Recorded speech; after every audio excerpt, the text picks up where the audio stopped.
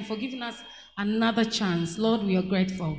Thank you for traveling mercies. Thank you for deliverance, Lord. Thank you for deliverance from the hands of death, sin, evil, and all kind of evil people and treacherous people. Lord, we are grateful. Father, we come again to say, Lord, only you are wonderful in our lives. You're so beautiful in our lives. And we appreciate your faithfulness, your mercy, your goodness, and your kindness. And all the saints will say, Amen. I can't hear somebody say amen. amen. Amen. Please smile to somebody, welcome someone without shaking hands. Tell somebody you're looking beautiful, you're looking handsome. I am happy to see you in church. Long time ago in Bethlehem.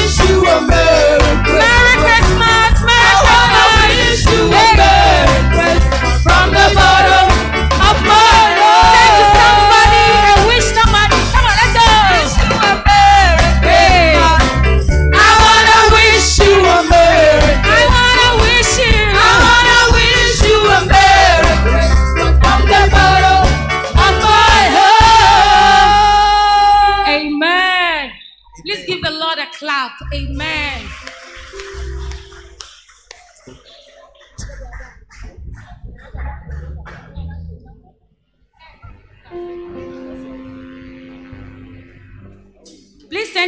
Who the Son set free is truly free.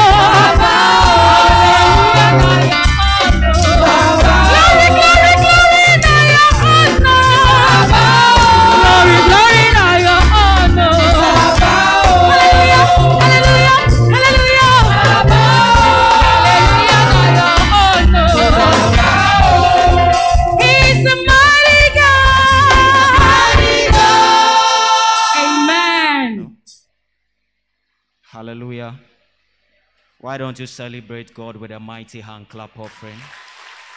Are you excited to be in church? Wish somebody next to you a Merry Christmas and a Happy New Year in advance. Today we have uh, a surprise for all of us. We are having a ministration from God and Sanctuary. Amen.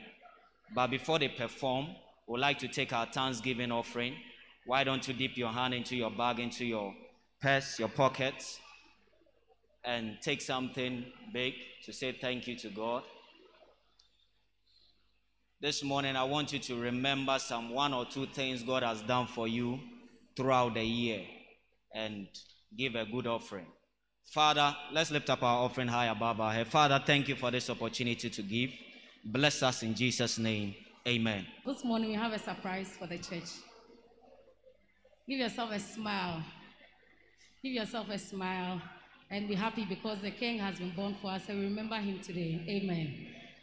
This morning, instead of sanctuary ministering, we have God and sanctuary ministering through a Christmas drama. So we would like you to just relax in your seats, enjoy the ministration, entertainment a bit, but administration as well. Basically portraying who Christ was in heaven, how majestic he was, how royal he was, but had to let go of all that because of the love that He has for you and I, so that man can be restored. Amen. Please turn to your neighbor and tell your neighbor, Merry Christmas.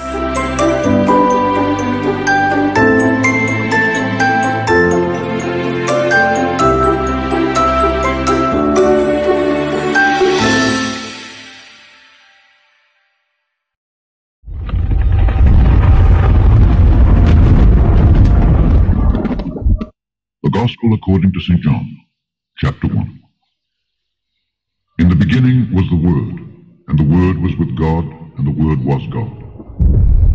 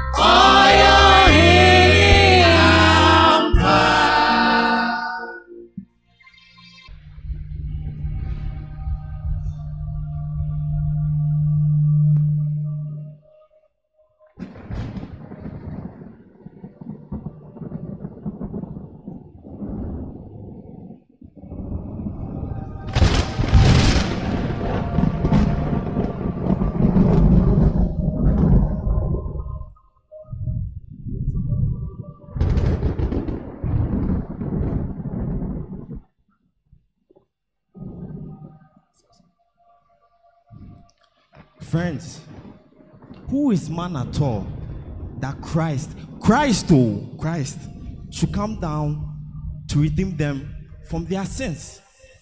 Man, my brothers and sisters, man was created by God only to be his friend, companion, and give him pleasure.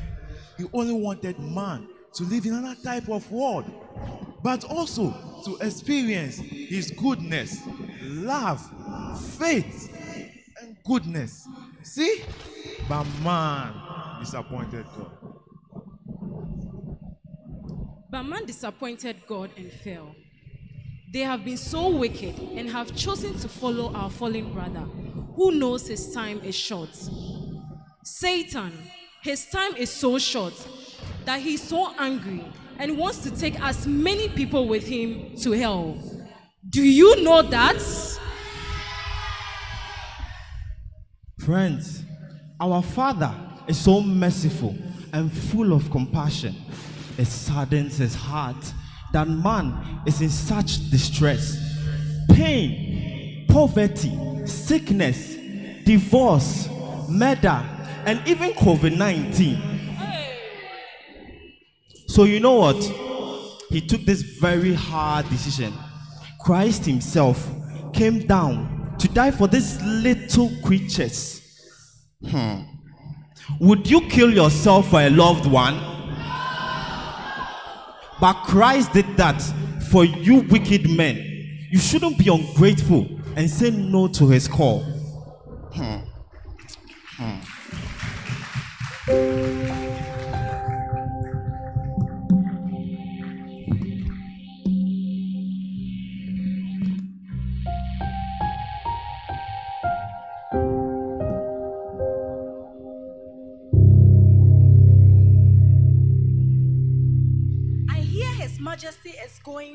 As man. Earth? That dusty and glorious place. I mean, how can he want to go to earth? With all these beautiful, you know, streets of gold and this wonderful worship that he is receiving. I mean, earth, how can he go there? I mean, how? No way. I will never do that. Never, never. With all these beautiful things I'm seeing here, no, no, no, no, no, no. I can't. I can't. To save man. Man. I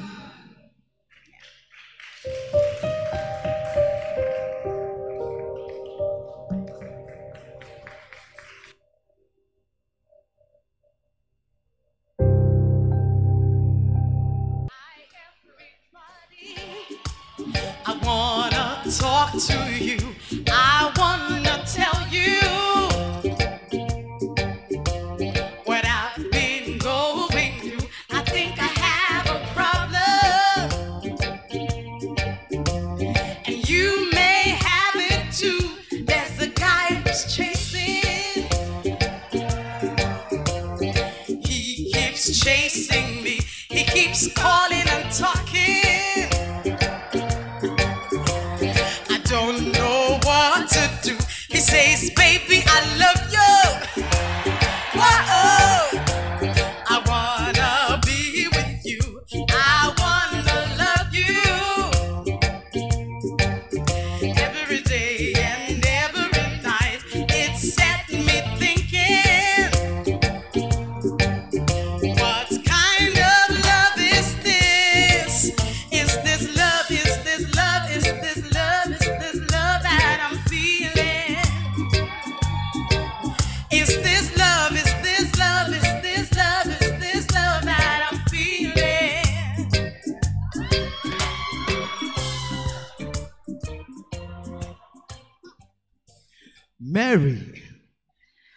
wait to make you my wife finally.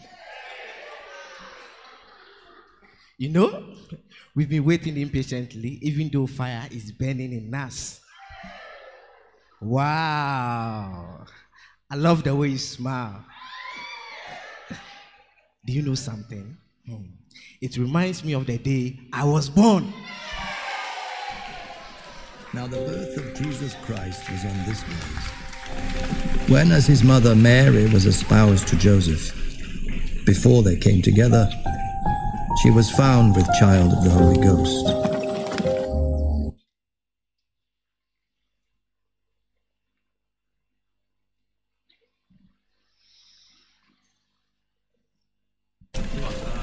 Now the birth of Jesus Christ was on this wise. When, as his mother Mary was espoused to Joseph, before they came together, she was found with child of the Holy Ghost.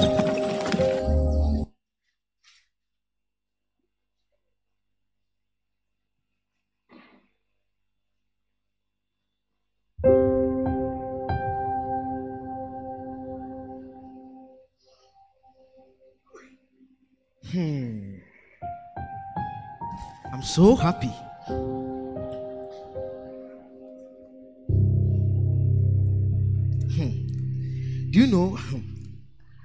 Gotten a virgin and I'm very, very happy. I can't wait. I can't wait.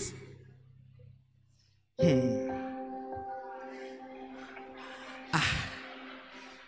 What am I seeing? Mary, is that you? What, what, what has happened to you?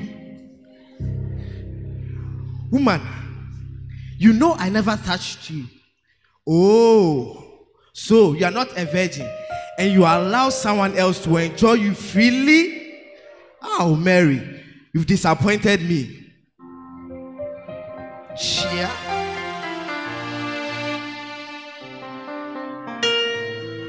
Hmm. So is that how you are?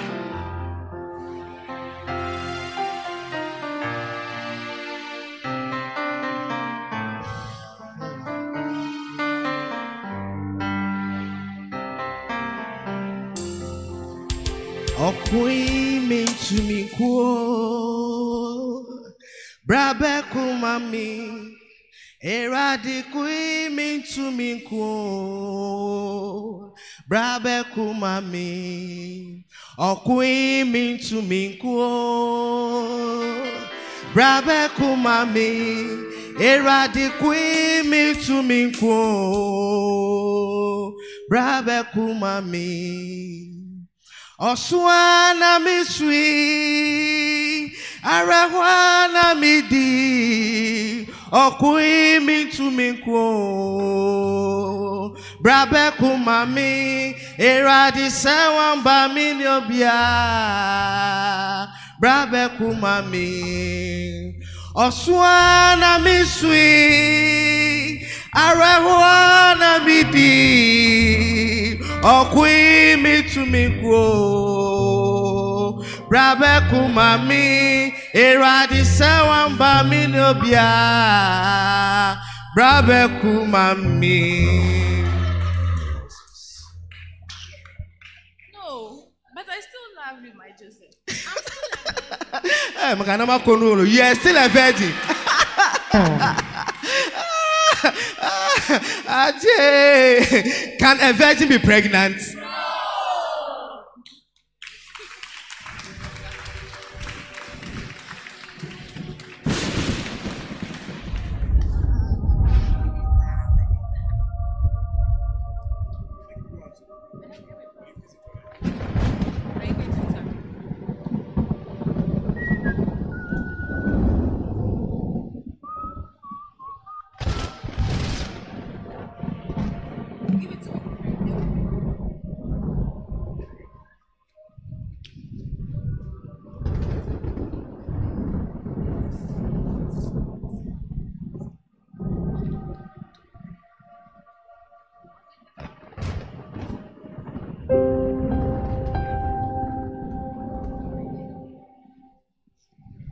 sókè mẹ́jọ pọ̀ jọ.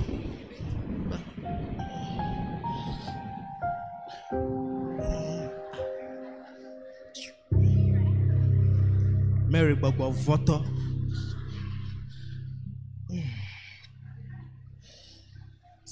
Gbọ́, yankunpin koko ajé yẹn.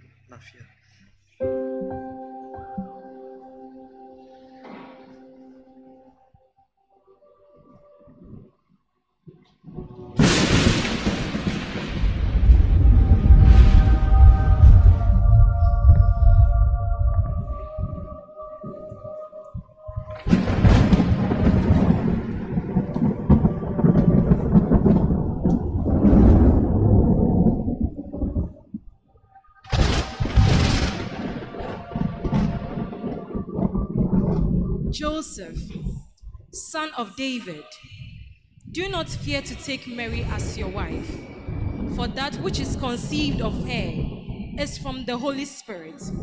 She will bear a son. You shall call his name Jesus, for he will save his people from their sins.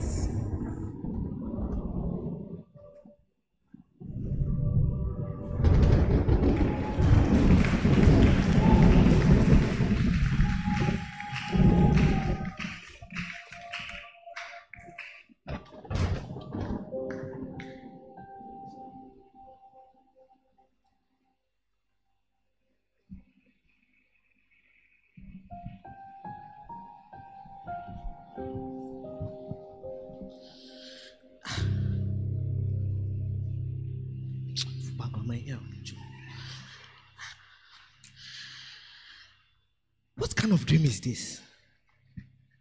Mary? No. What should I do now? Mary. Okay. Because God has spoken, I'll take the heed. Chapter 2 And it came to pass in those days that there went out a decree from Caesar Augustus that all the world should be taxed. And this taxing was first made when Cyrenius was governor of Syria. And all went to be taxed, every one into his own city. And Joseph also went up from Galilee, out of the city of Nazareth, into Judea, unto the city of David, which is called Bethlehem, because he was of the house and lineage of David, to be taxed with Mary his espoused wife, being great with child. And so it was that while they were there, the days were accomplished that she should be delivered. As it is written in the law of the Lord, every male that openeth the womb shall be called holy to the Lord, and to offer a sacrifice according to that which is said in the law of the Lord, a pair of turtle doves or two young pigeons. And behold, there was a man in Jerusalem whose name was Simeon, and the same man was just and devout, waiting for the consolation of Israel. And the Holy Ghost was upon him. And it was revealed unto him by the Holy Ghost that he should not see death before he had seen the Lord's Christ. And he came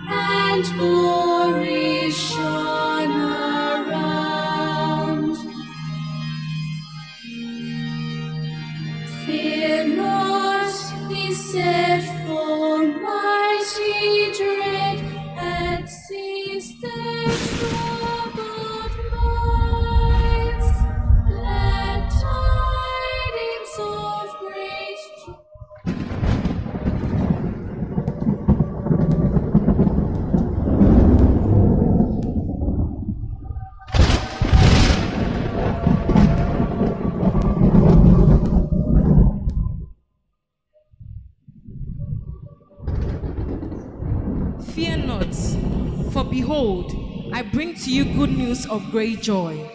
That will be for all the people. For unto you is born this day in the city of David a Savior who is Christ the Lord. In this will be a sign for you, and this will be a sign for you. You will find a baby wrapped in swaddling clothes and lying in a manger.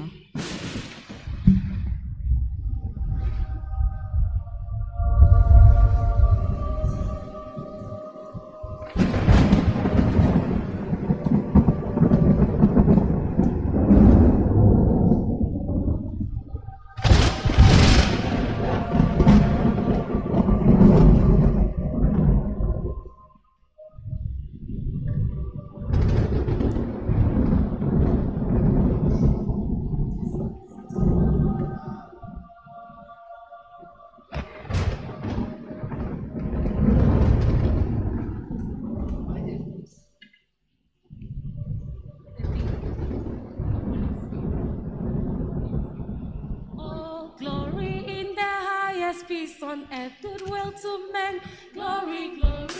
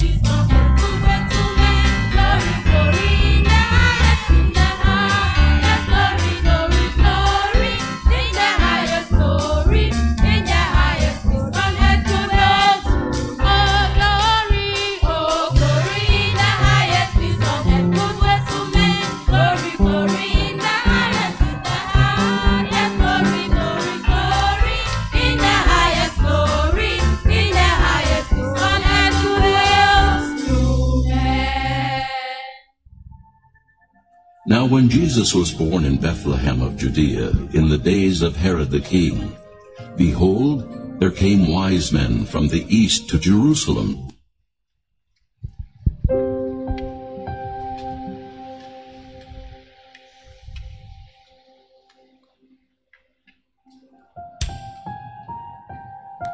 Brothers, I can see a very different star from the usual.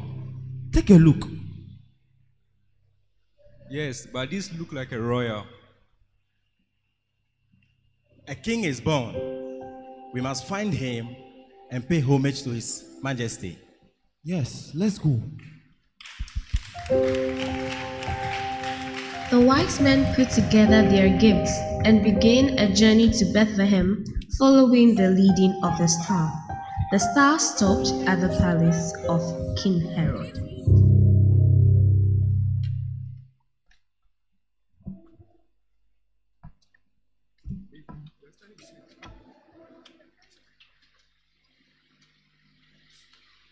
My king.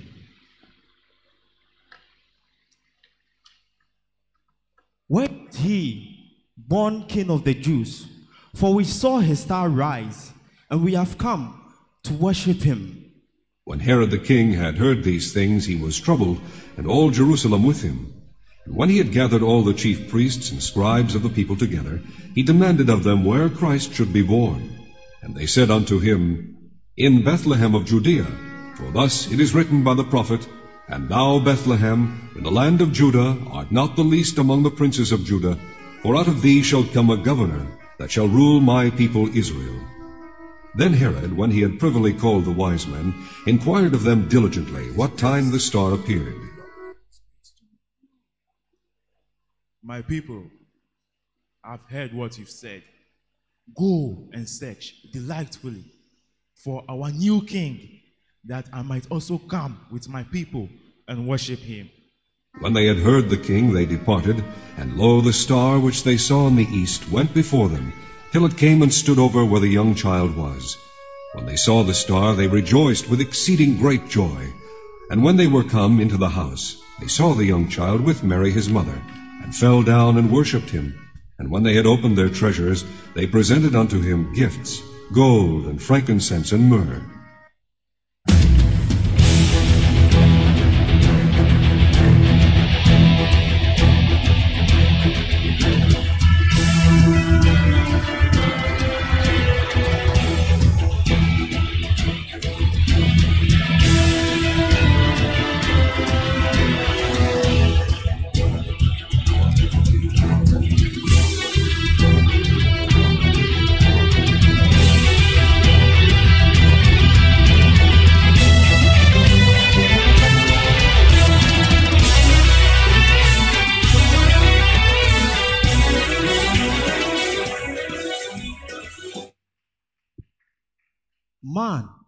Woman, we saw his star rise and we have come to pay homage to him. Here is my gift of gold.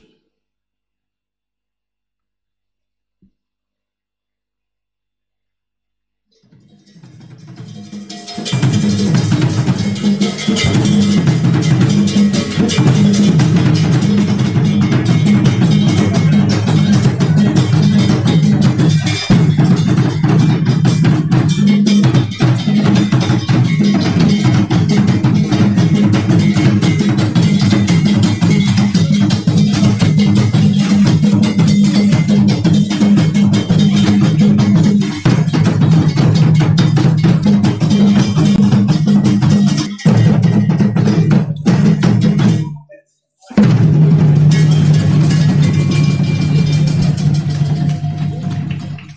present my gift of frankincense.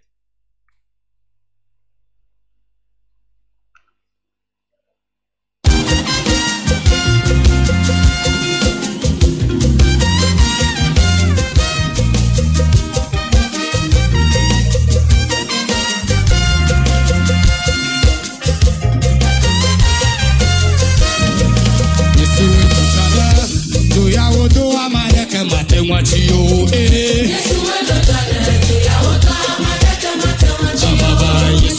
Wetu chada, tuyawo do amayeke mate mwachi yo eh. Eh, tonya o mi ba, eba mi jo lẹ́yìn Yesu bọ̀, ẹ̀yà wọ̀ tọ́ na Yesu.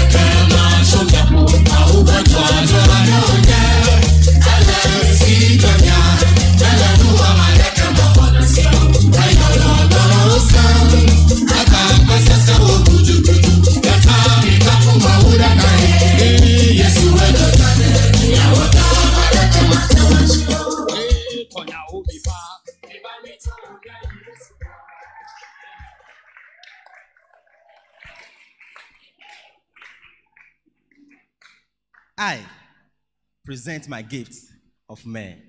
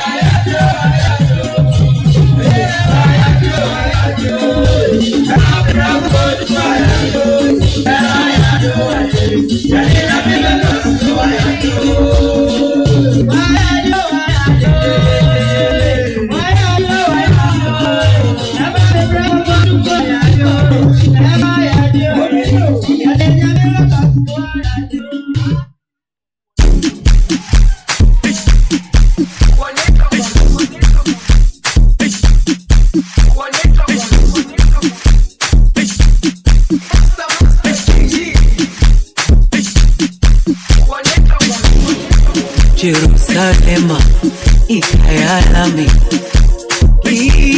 ilondoloze uhambe nami zungangishilana Jerusalema ikhaya lami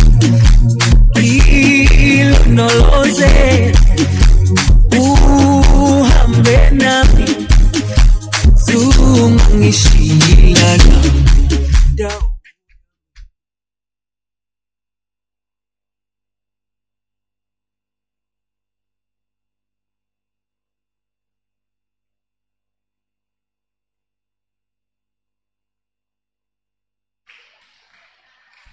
give it up for God and Sanctuary. Give it up for them. Give it up for them. Give it up for them.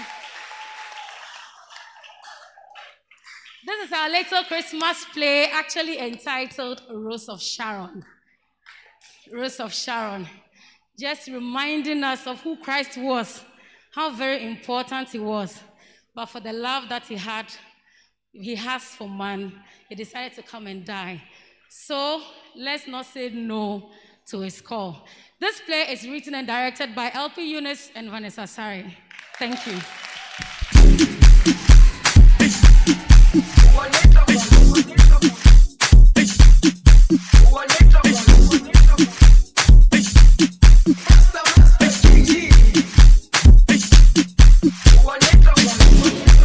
Jerusalema ikhaya lami ilondoloze uhambe nami zungangishilana Jerusalema ikhaya lami. Ilondoloze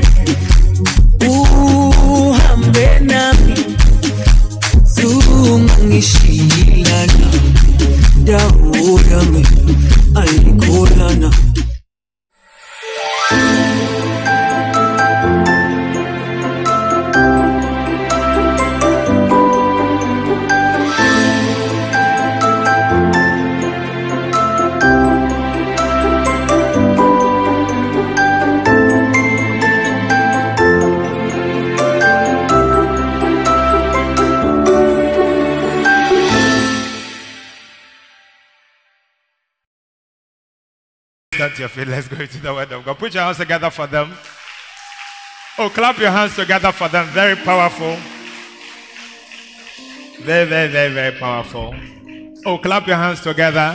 Very powerful ministration. Ask your neighbor, have you been blessed? All right. Thank you, God and Sanctuary. And um, thank you, my wife, for putting this together. I had no idea at all. Put your hands together for my wife again. I appreciate her for that wonderful script and uh, direction. Very powerful. Amen. Very creative. God bless all of you. Kindly lift up your right hand to Jesus. Ask God to speak to you today. The second time, even after speaking to you through the play or drama, ask Him to speak to you the second time. Tell Him that you want to hear from Him. Lift up your voice. Pray to God. Merobovohushima kodima dibo kuzima katarish. Pray to God. God, I look to you. I won't be overwhelmed. Give me vision to say things like you do. God, I look to you. You're where my help comes from. Give me wisdom. You know just what to do, and I will love you, Lord, my strength. I will love you, and I will love you, Lord, my shield. I will love you, Lord, and I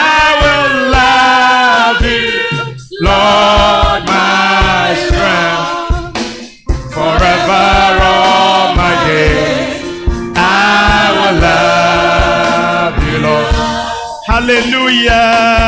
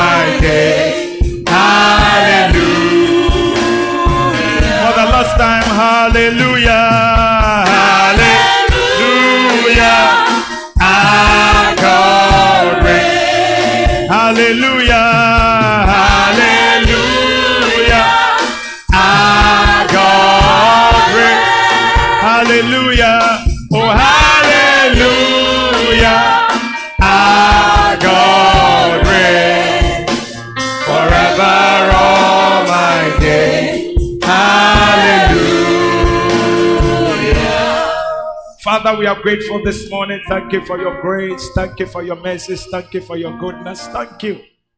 Thanks a million for this year. We are grateful. This morning, oh God, the gathering is unto you. It's not unto any man. I pray that you speak to us. Bless us this morning through the preaching of your word. Make my soul like the soul of a winged child this morning. Have mercy, O God, upon me. Fill me with your Holy Spirit.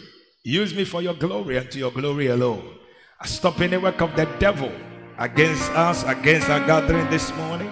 In Jesus' mighty name. And I sprinkle the blood of Jesus upon all we do. In Jesus' name we pray. Everybody shout a big amen. Clap your hands together for the Lord. Shall we be seated? You made a way when our backs were against the wall and it looked as if it was over. You made a way, and we're standing, and we're standing here only because you made a way. You made a way. You made a way when our when our backs were against the wall, and it looked as if it was over. You made a way, and we're standing, and we're standing here only because you made a way. Standing here, standing here not knowing how we'll get through this test. Holding on to faith, you know best. Nothing can catch you by surprise. You've got this figured out. You're watching us now. And when it look as if we can't win, you wrap us in your, you wrap us in your arms and step in. Everything we need, and everything we need, you supply. You got us in control, and now we know that you made a way when our backs, when our backs were against the wall, it looked as if it was over. You made a way, and we're standing, and we're standing here only because you made a. You move mountains, you move mountains. You cause walls to fall with your power. You perform miracles. There is nothing that's impossible. That's impossible. And we're standing here only because you made. You move mountains. You move mountains. You cause walls, you cause walls to fall with your power. Perform miracles. There is nothing, oh, that's impossible. And we're standing, and we're standing here only because you made, you made a way in 2020. You made a way when our back, when backs went against the wall, it looked as if it was over. You made way, and we're standing, and we're standing here only because you made. You move mountains, all the mountains in 2020. happen. You move mountains. You cause walls to fall with your power. Perform miracles. There is nothing. All mountains have been moved. That's impossible. And we're standing here only because you made. You move mountains. You move mountains. You cause walls to fall with your power. You perform, you perform miracle. There is nothing that's impossible. And we're standing here only because you made. You are great, yes, you are. Holy One. You walked upon the sea, you raised the dead. In 2020 and in 2021, you reign in majesty. Mighty God, everything you written about you is great. You are great, yes, you are. You are great, yes, you are. Holy One. You walked upon the sea, you raised the dead. You reign majesty, you reign in majesty. Almighty God, everything written about you is great. You are great, you are great, you are great, you are great, you are great. Oh yes, you. You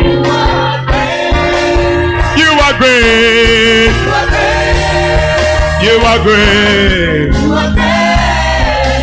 Everything written about you is great. Demons tremble at your presence. Demons tremble at your presence. What a mighty God we serve. Glory, glory, hallelujah.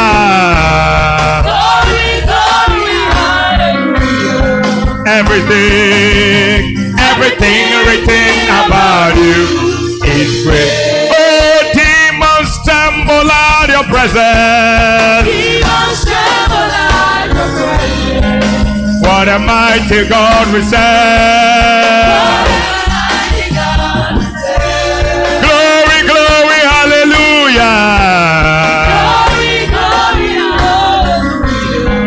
Everything, everything written about you.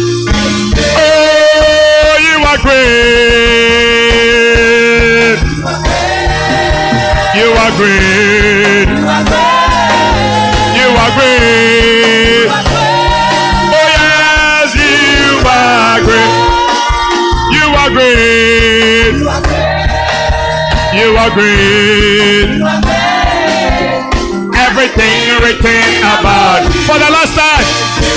Oh, demons tremble at your presence. What a mighty God we serve.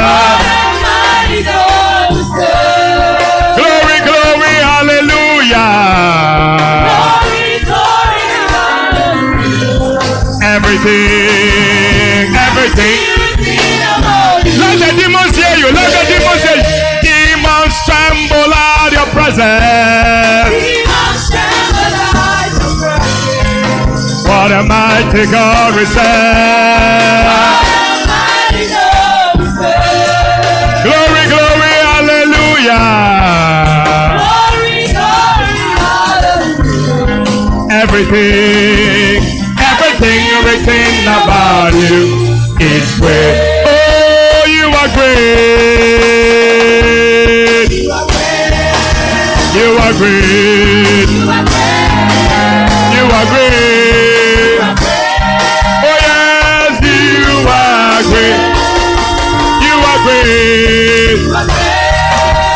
You are. Everything written about you is great. Clap your hands together for Jesus. Amen. God is great. He's good. We serve a great God. Somebody say amen. Matthew chapter 1 has been our key scripture in December. Matthew chapter 1, reading from verse 18 to 25, which we just saw dramatized. Matthew chapter 1, reading from the verse number 18, it says, Now the birth of Jesus Christ was upon this wise. When, our, when as his mother Mary was espoused to Joseph, before they came together, she was found with child of the Holy Ghost. Then Joseph, her husband, being a just man and not willing to make a public example, was minded to put her away privily. But while he thought on these things, behold, the angel of the Lord appeared unto him in a dream, saying, Joseph, thou son of David, fear not to take unto thee Mary thy wife, for that which is conceived in her is of the Holy Ghost. And she shall bring forth a son, and thou shalt call his name Jesus, and he shall save his people from their sins. Now, all this was done that it might be fulfilled, which was spoken of the Lord by the prophet, saying, Behold, a virgin shall be with child, and shall bring forth a son, and they shall call his name Emmanuel, which being interpreted as God with us. Then Joseph, being raised from sleep, did as the angel of the Lord had bidden him, and took unto him his wife, and knew her not till she had brought forth her firstborn son, and he called his name Jesus. From here, we have been talking about a few good men. A few good men. A few good men. What's happening? A few good men. Somebody say amen. And I remember saying to you that not everybody in church is good. This week, somebody stole our small laptop in the church. I believe it's a church member who stole the laptop. If you don't want trouble, if you don't want a small ant to enter into your body and trouble you, bring back the laptop. If you can hear me or you are watching me, bring back the laptop. If you don't want a small ant to enter into your body and eat you up in your secret parts, bring back the laptop. Or if you know the person who took it, tell him that a spiritual ant has been sent into their secret parts. If you read the Old Testament, you understand secret part. That ant will bite you the rest of the days of your life for stealing God's property that contains all messages and sermons that has been preached in the church. That spiritual ant is inside the body of the person now until the person brings it back. In Jesus' name. Because not everybody in church is good. Not everybody who is saying, Lord, Lord, is serving God. Not everybody who is praying, coming for prayer meeting, clapping their hands, sweating a lot, rolling even on the floor. Not everybody is good. not everybody is good. And not everybody in our families are also good. You can have brothers, have a lot of sisters, have a lot of brothers, lot of family members, but not everybody is good. So the same Jesus who said that we should call no man good was teaching us how we can be good people. In Luke 6:45, where he said, A good man out of the good treasure of his heart bringeth forth that which is good. And an evil man out of the evil treasure of his heart bringeth forth that which is evil. For of the abundance of the heart, the mouth speaketh. So if the same Jesus says, Call no man good on earth, and is now teaching us how to be good people, it tells you that the good people in the world, they are not many, they are few. When they come to your house, they come to your family, they come to the church, and they are looking for good people. May somebody mention your name. Your amen is saying, May somebody mention your name. Your amen is saying, May somebody mention your name. So we started looking at the subject, a few good people. With the mind that everybody in this church, when they are looking for good people, they'll be mentioning our names. Oh, your amen is May they mention your name that you are a good person. Oh, do you doubt the fact that you are a good person? May they mention your name that you are a good person. Then we began to ask ourselves, what are the things that Joseph did which qualified him to be called a good person, which we can also learn from? And the first thing we said was that Joseph, when he heard that Mary, his wife, was pregnant of the Holy Ghost, and he was angry, he decided not to make her a public example. You must never desire to disgrace people in public.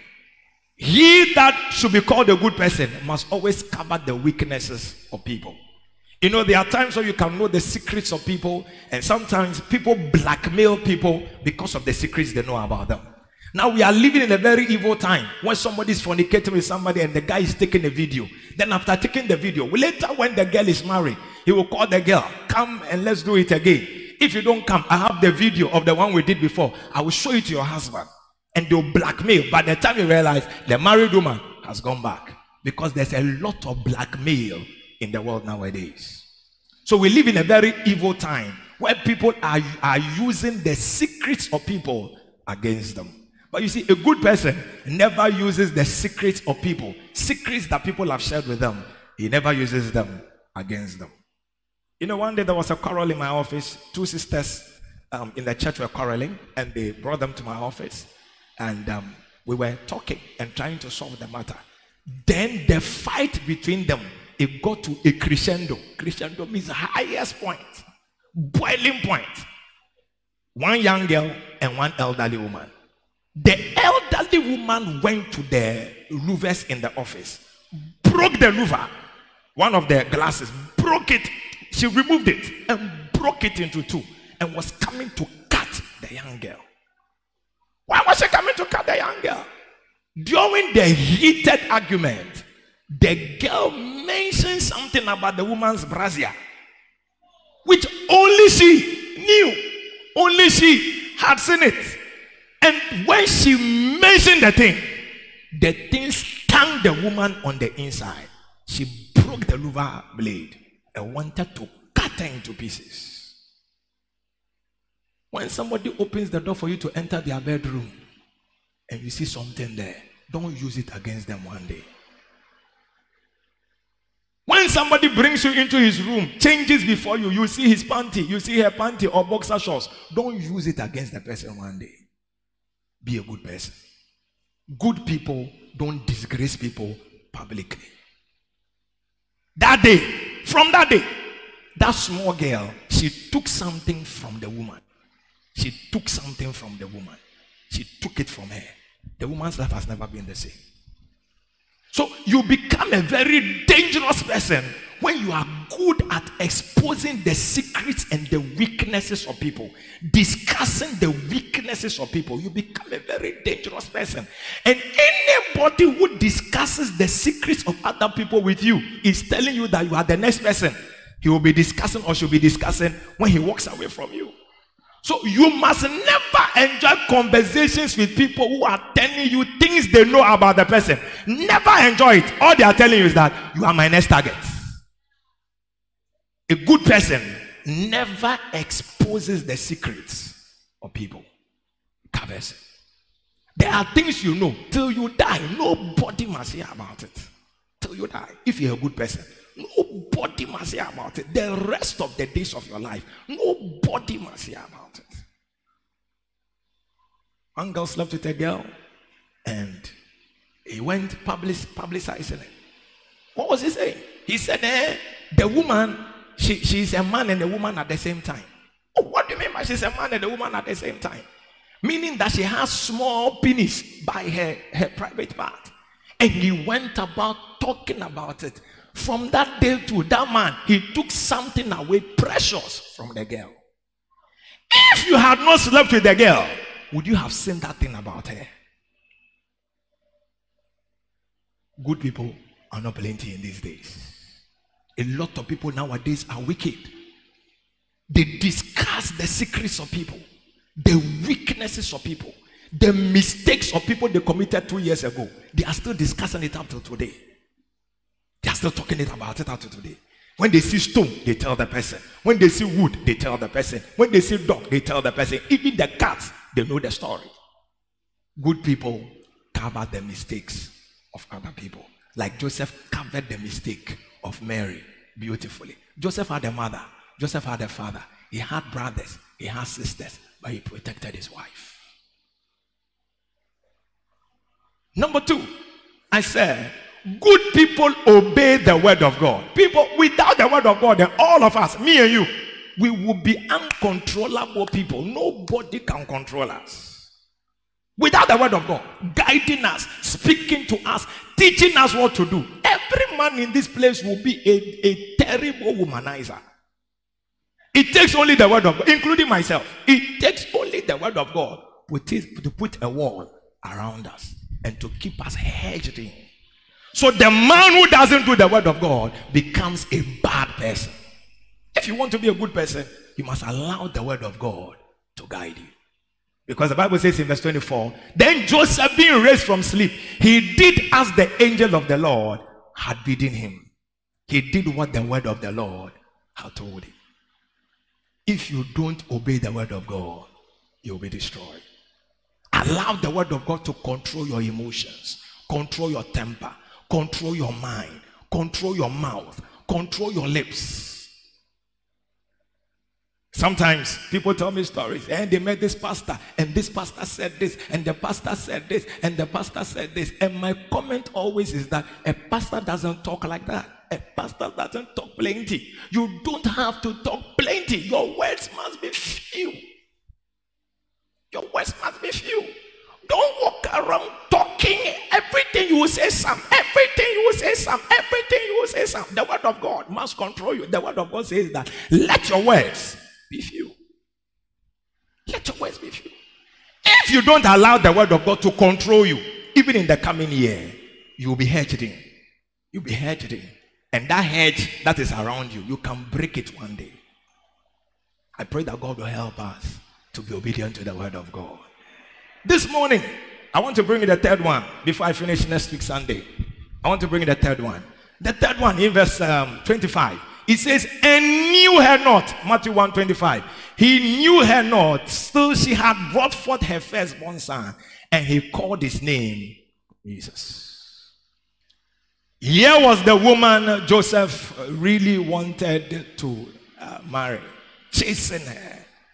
You saw Joseph telling her that, I mean, our, our, we are burning for each other. They were burning for one another. Then she was a child of the Holy Ghost. Something must have put some fear into Joseph not to touch Mary again. And whenever somebody has something around him that he could destroy, that he could use, that he could enjoy, but doesn't enjoy it, we call that person a faithful person. If you want to be called a good person in this world, the third characteristic about you must be that you are a faithful person. This morning I'm talking about being faithful. Being what? Faithful. Say it after me, being faithful. Oh, I can't hear you. Say it after me again, being faithful. I can't hear you. Shout it again, being faithful. Be a faithful person. Now, why did why did Joseph not touch Mary again? Because God appeared to him in a dream through the angel and said to him, That which is conceived in Mary is of the Holy Ghost. I am the one who allowed her to be impregnated. So her body, I have hid it for two years. The baby in the womb, you are not supposed to touch it. You are not supposed to call him Kofi whether he's born on Friday or not. You are not supposed to name the child. The name I have chosen is what you must give to the child. And so Joseph didn't touch the body of Mary, neither did he touch the firstborn son that she had given birth to because he was a faithful person. He defines for us what truly faithfulness is. What is faithfulness? When we say somebody is faithful, what is it? Number one, I'll give you two definitions. Number one, when we say somebody is faithful, what does it mean? Number one, number one, it means refusing to touch what belongs to God. Refusing to touch what belongs to God. When God said to Joseph, That which is conceived in your wife Mary is of the Holy Ghost, he was telling her, he was telling him that now Joseph's body, I have rented it. Hey, Mary's body, I have rented it. I have put a baby inside. The body is mine for the next two years. And Joseph understood the language. It belongs to God. Number two, when we say somebody is faithful, it also means the person refuses to touch what doesn't belong to him. What doesn't belong to you, you don't touch it. What belongs to another person, you don't touch it, you don't steal it, you don't run away with it. What doesn't belong to you? You don't touch it. Joseph knew that the child, Jesus, was not his. So he didn't touch Jesus. As soon as he was born, he just named him Jesus and left the boy to grow up himself, become a carpenter. After becoming a carpenter at the age of 30, he says, I'm on my own. I'm going to work for my father. Joseph just allowed the boy to be. Faithful people don't touch what belongs to God. Faithful people don't touch what is not their own. I'm preaching. So the question then is what is it that belongs to God? What can we learn from here that we can think about? The first thing I want you to see is that God said to Joseph, He says, Mary's body, I have rented it. Now, you to your body, God has rented it. The first thing that belongs to God, which as a faithful person, as a good person who wants to be called a good person, or as a Christian wants to be called a good person, to show that you are a faithful person, is that your body don't touch it. The first thing you must not touch, which belongs to God, is your body. Your body. God told Joseph, I have rented Mary's body for nine months. Maybe nine months of the pregnancy, maybe three extra months to deliver and um, flow and get healed and get okay. So for the maybe and then maybe the spousal, maybe six months before. So you know, maybe about one and a half to two years. God said, This body is mine. But you, God owns your body not for one year, not for two years. He owns it the rest of the days of your life. First Corinthians chapter 6, verse 19 and 20. It says, Know you not that your body is the temple of the Holy Ghost, which is in you, which you have of God, and that ye are not your own, for ye are bought with a price. The price is on you. The price is the blood of Jesus. Your body doesn't belong to you. Mary was carrying a pregnancy, carrying God on the inside, carrying Jesus on the inside. You are also now carrying God on your inside. And anywhere God goes into, the place becomes a temple. Your body is not your own.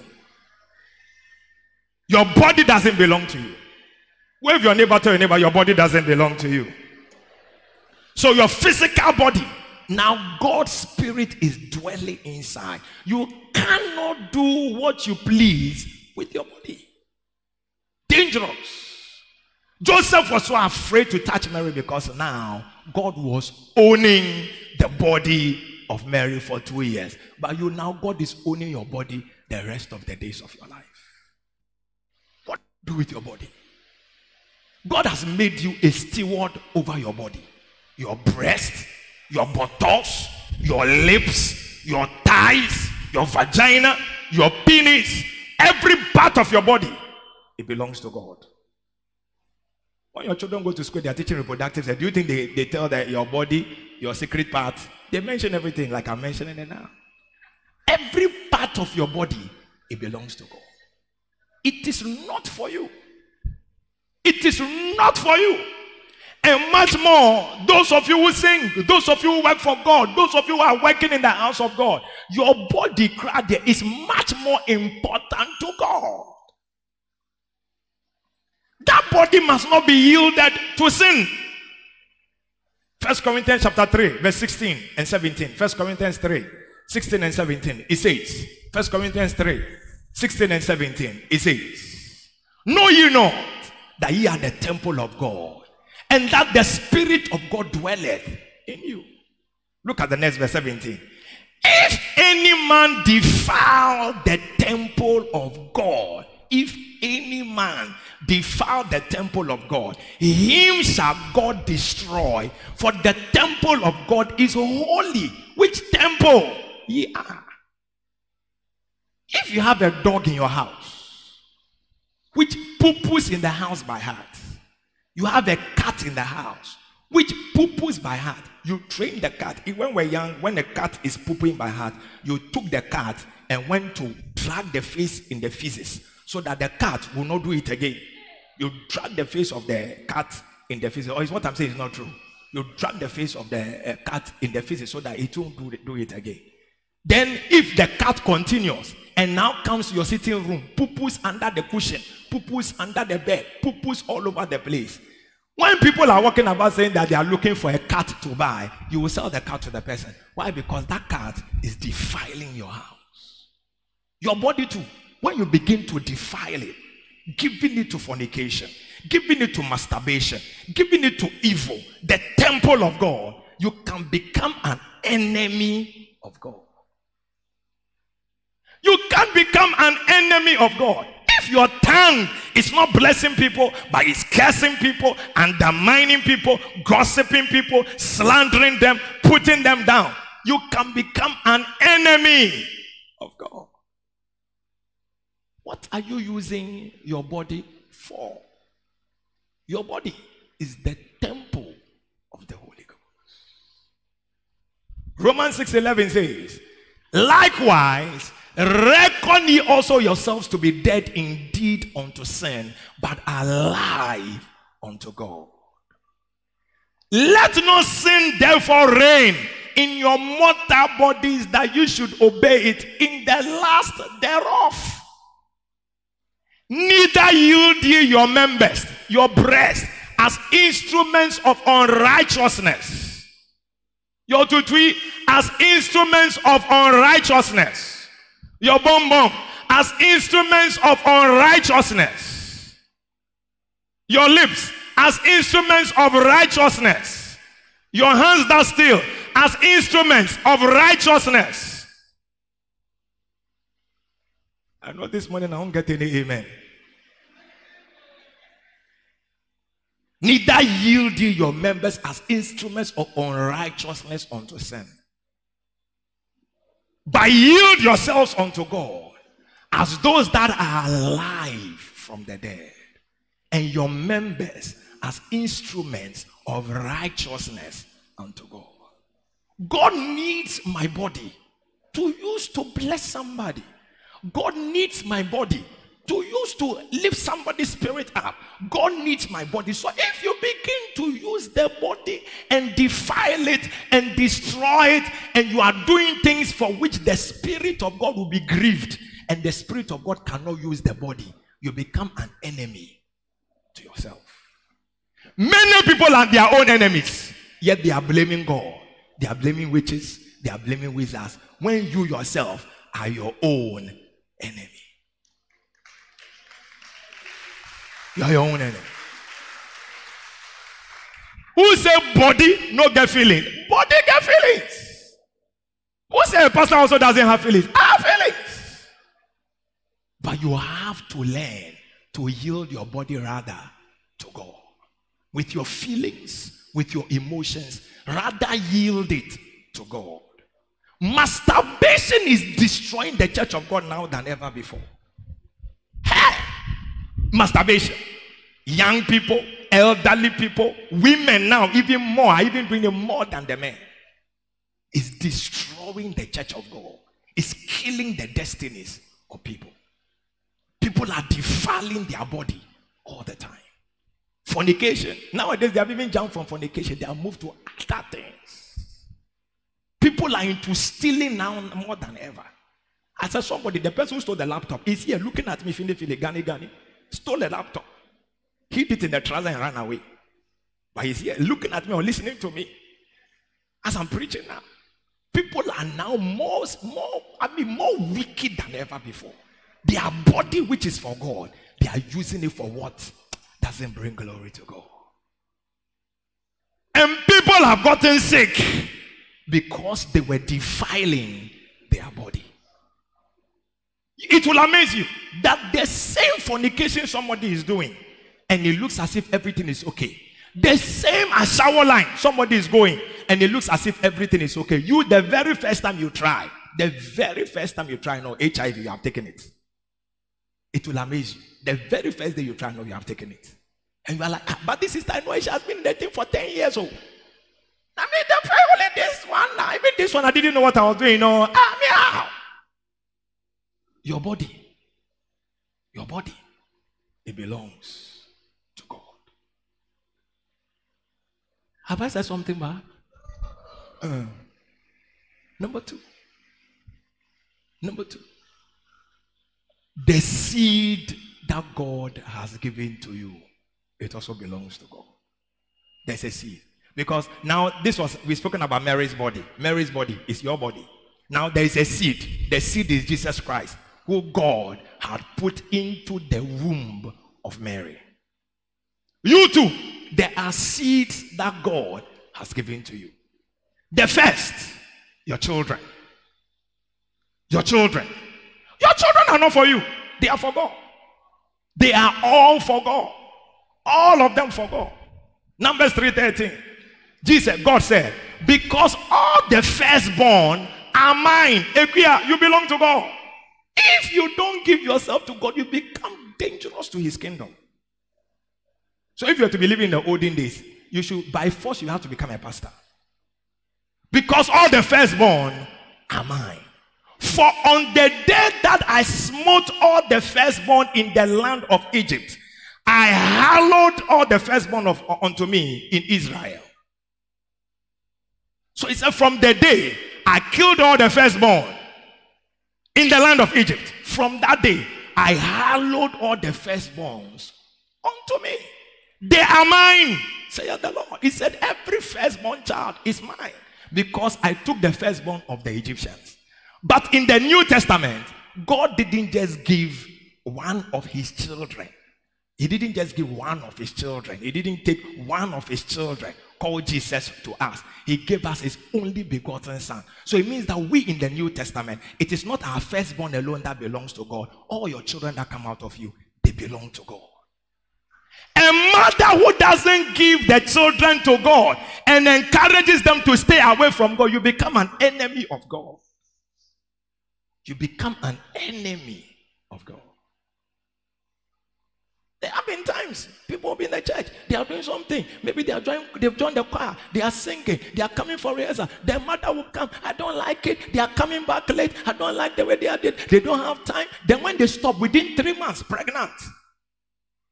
Then the man who has impregnated them too, he's not interested in the pregnancy, tormenting the kids, destroying their lives. Your children, they are for God. Listen, paying school fees is your duty. Don't say you are doing it for God. It's your duty. It's your duty.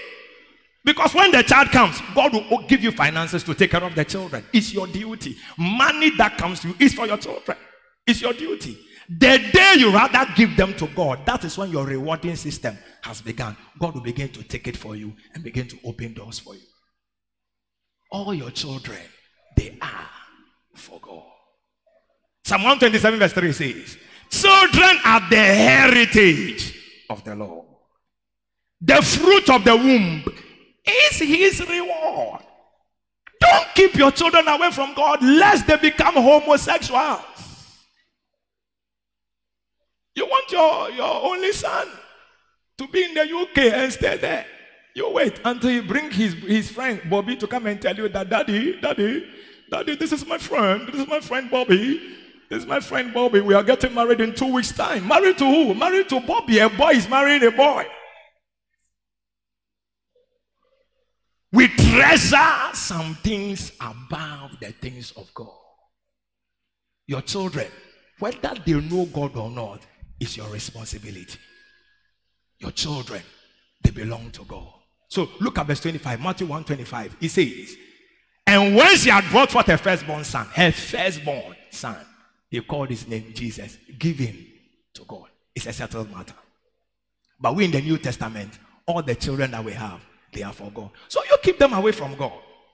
You keep them away from God. And when you want to put them in international school, you want them to go to Cambridge, uh, international Cambridge, something, something, so that they know they will, they will not be, they will be international children. International children. International children. Right before your eyes, you will see your children changing and you'll be amazed. Right before your eyes, you see your children changing. One of my pastors told me, he told me that because of the preaching, he has to be preaching. He's here. Because of the messages he has to be preaching, he says there's pressure on him to obey the word of God himself.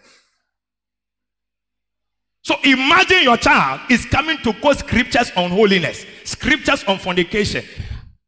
My memory verse for today is uh, And then he's afraid small. Then he says, Romans 6, verse 11. Likewise, reckon ye also yourselves to be dead indeed unto sin, but alive unto God. Through Jesus Christ, as the child is growing up, the day a boy wants to fornicate with her, he will say, No, no, no, no.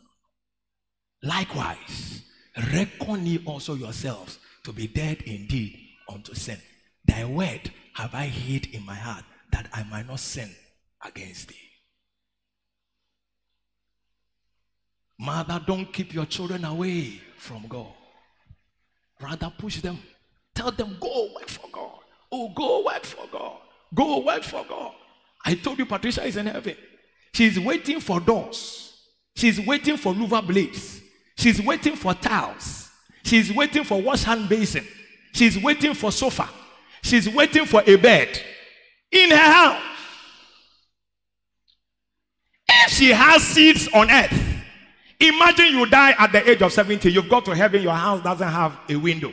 And your child is a pastor, winning souls, bringing souls into the kingdom. You will get the windows in no time. Within a short time, the windows are provided, the tiles are provided, the wash-out basin is provided, everything is provided because everything your child does for the kingdom, you too, you become a partaker of it.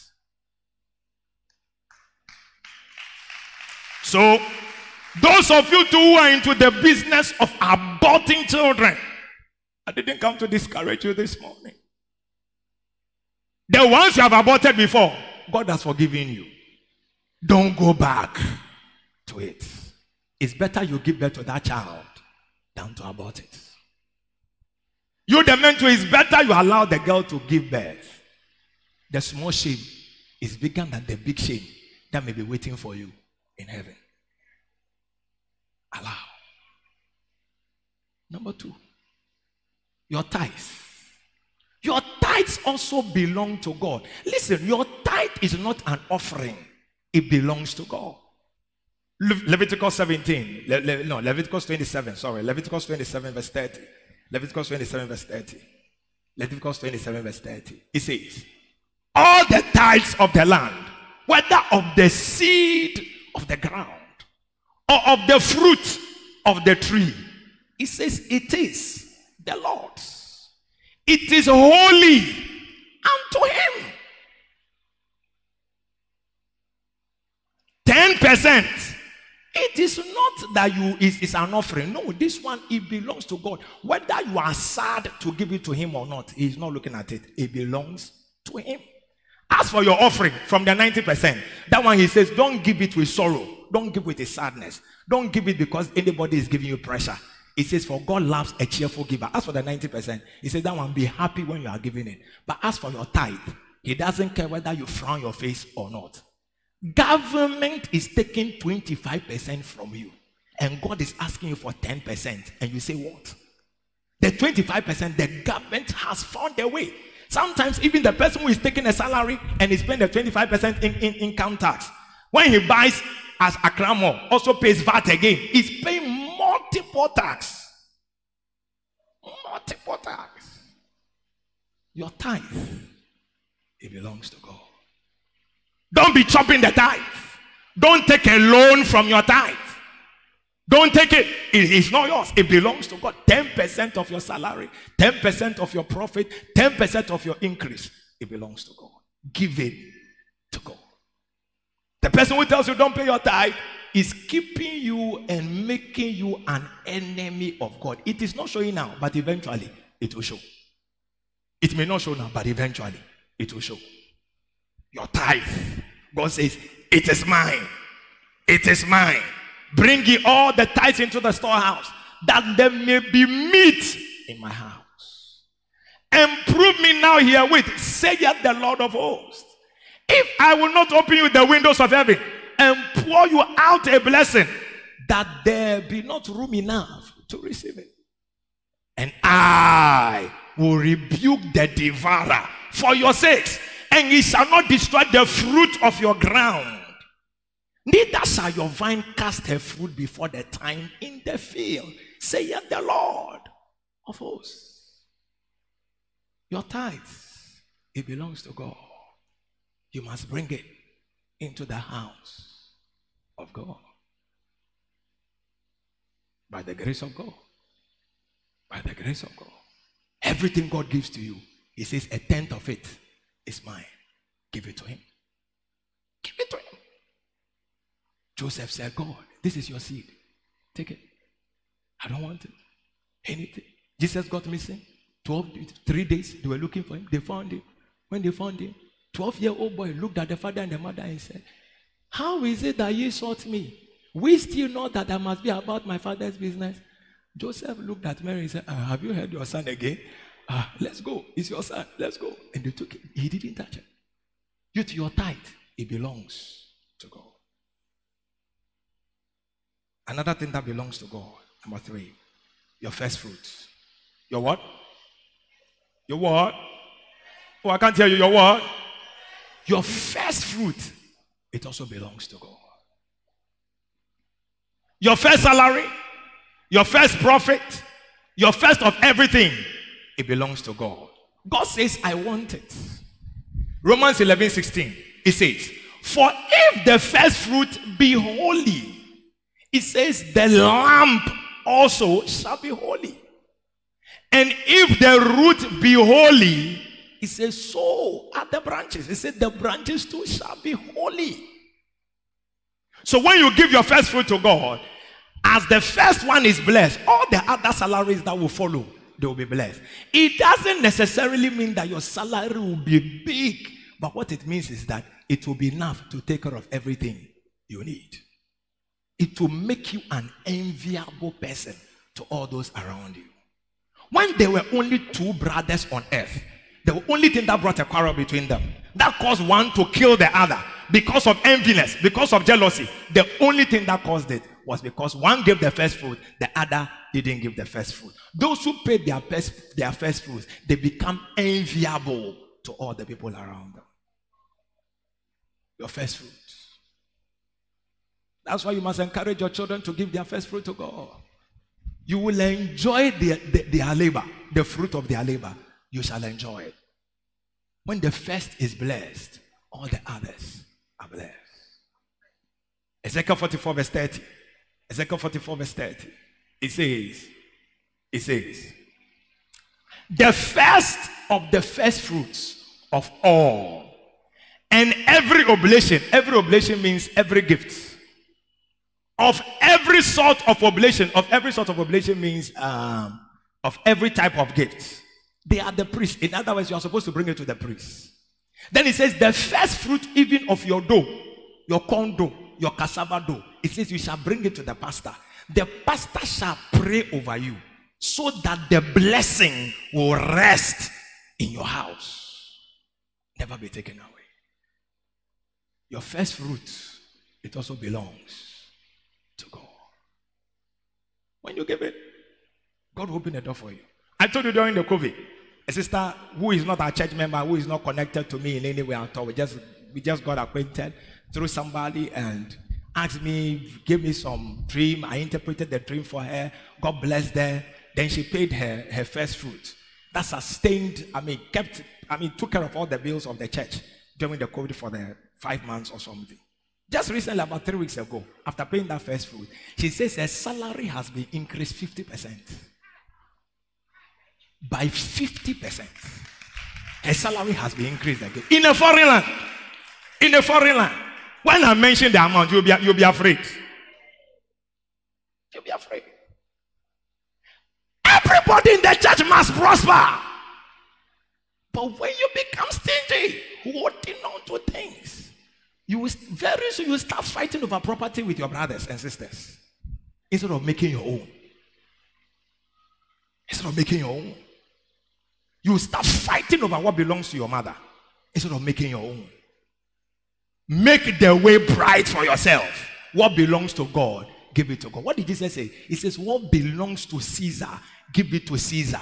And what belongs to God, give it to God. There are things that belong to God, don't touch it. How can we be faithful to God? Let me just close with that one. How can we be faithful to God? Number one, the fear of the Lord. Everybody say after me, the fear of the Lord. The fear of the Lord. It's when you have the fear of the Lord, you, you, you, you will be afraid. You will be afraid. You know, one day I was sharing the story in the first service. I think last two years, December, I was standing right in the middle here and I was preaching. In the middle, maybe about 15 minutes into, into the message, I felt as if somebody came out of me and stood at the side. And as soon as I had that feeling, immediately the preaching it changed. I couldn't flow. I did. I couldn't remember many things. And, and, and, and then I heard the Holy Spirit said, I have withdrawn. I have withdrawn. Because what I was supposed to pray about, I didn't pray about it. And the Holy Spirit said, I have withdrawn. The feeling He gave me that day, I always remember it till today. I don't fear anything. The only thing I fear is for God to, be get, to get angry with me and for Him to withdraw Himself. I am finished. When that fear is in you, you will be careful. You will be careful.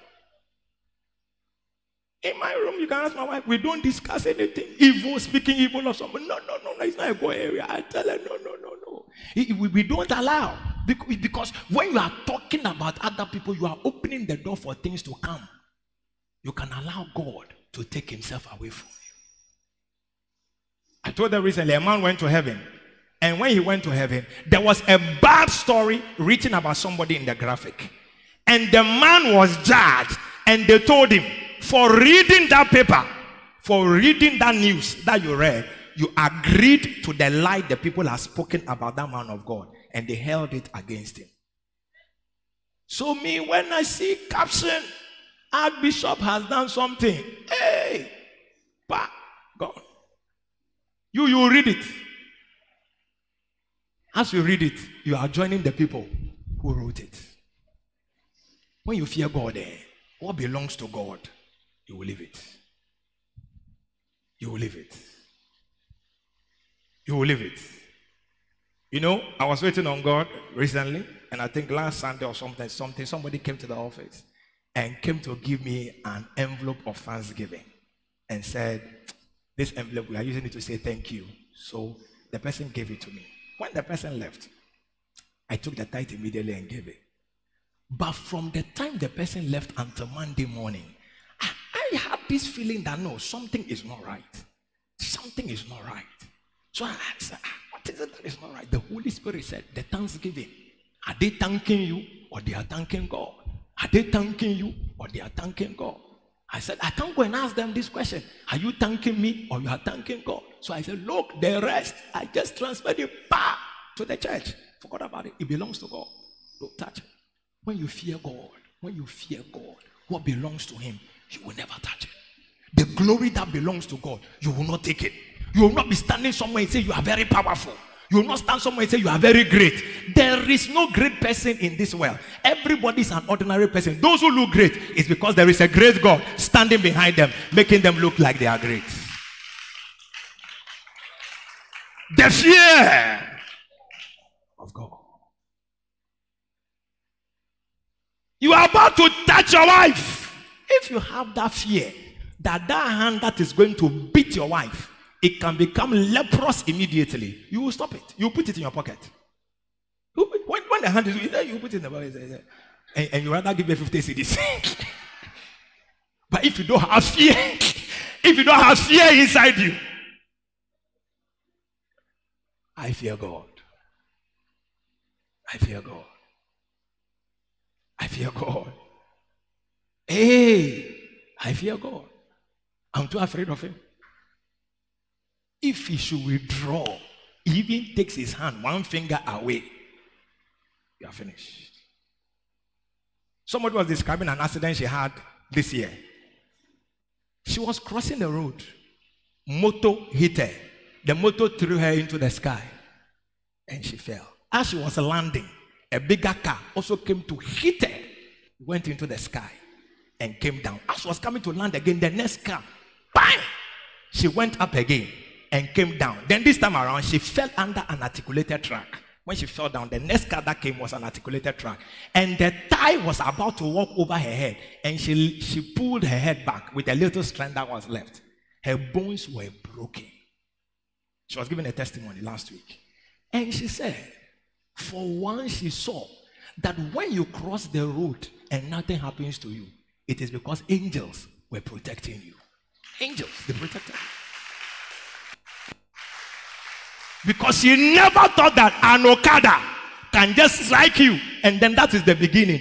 If the devil should get you, what he will do to you? Oh, don't you think so? If the devil should really get you, or get your children, or get your husband, what he will do to you?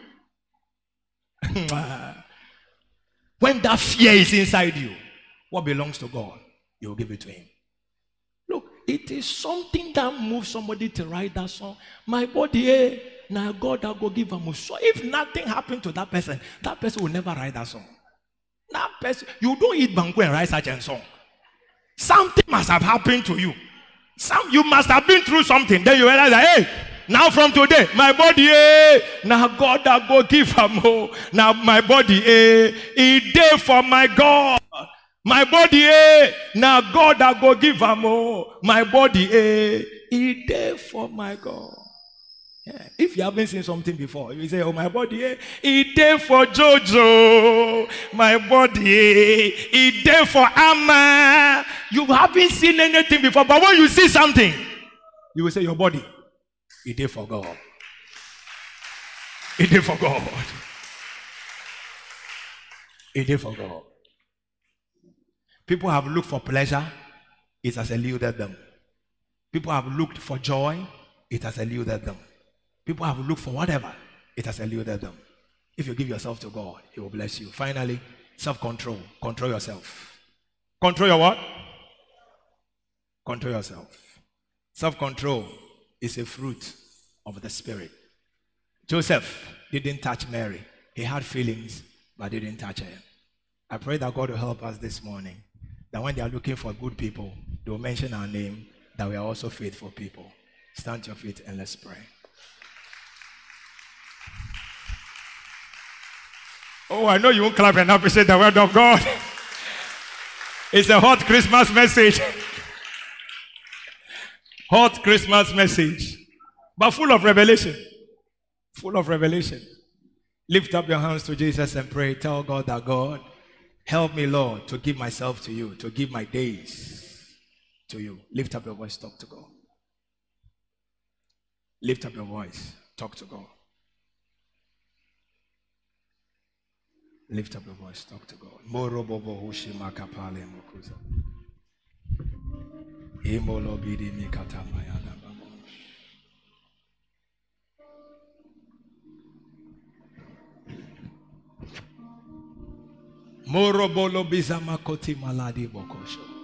This morning, you've heard the word of God. You want to give your life to Jesus. I want you to say this prayer after me. Say, Lord Jesus, I thank you for coming to die for me. I repent of my sins. Come into my heart. Be my Lord. Be my Savior. I pray for everybody here this morning, everybody watching online. Let the grace of God be strong on you. Let the fear of the Lord be inside your heart.